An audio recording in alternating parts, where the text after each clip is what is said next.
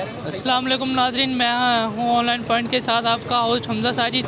آج جیسے کہ آپ جانتے ہیں کہ سردیوں کا موسم، سردیوں کا موسم جاری ہے اور یہاں پہ آپ دیکھ سکتے ہیں کہ باربیکیو کی بھی ڈیمانڈ بہت زیادہ بڑھ چکی ہے۔ لوگ بڑی دور دور سے آتے ہیں، یہ باربیکیو پارسل بھی ہوتے ہیں، کافی جگہوں پر جاتے ہیں۔ باربیکیو کافی دور دور سے آتے ہیں لوگ اسے۔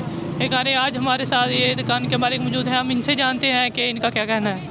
جی بالکل جیسے ہی سردی میں اضافہ ہوا ہے تو اضافہ جاری ہے بلکہ اور یہاں پہ جو ہے نا باربیکیو کی ڈیمانڈ ہماری بڑھ گئی ہے۔ یہاں پہ اپنا ٹکا بوٹی، ریشمی کباب، ملائی بوٹی جو ہے نا زیادہ پسند کی جاتی ہے۔ دور دور سے لوگ آتے ہیں یہاں پہ کھانے کے لیے اور گھروں میں بیٹھ کے آرڈر بھی دیتے ہیں، منگواتے بھی ہیں۔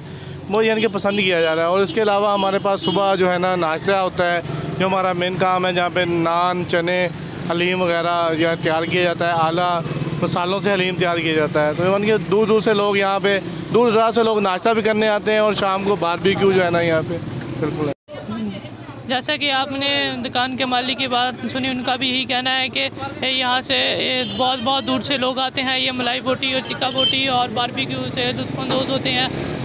اور آپ نے دیکھا جیسا کہ کاریگر بہت اچھے انداز سے یہ باربیکیو اور ملائی بوٹی وغیرہ جو ہے تیار کر رہا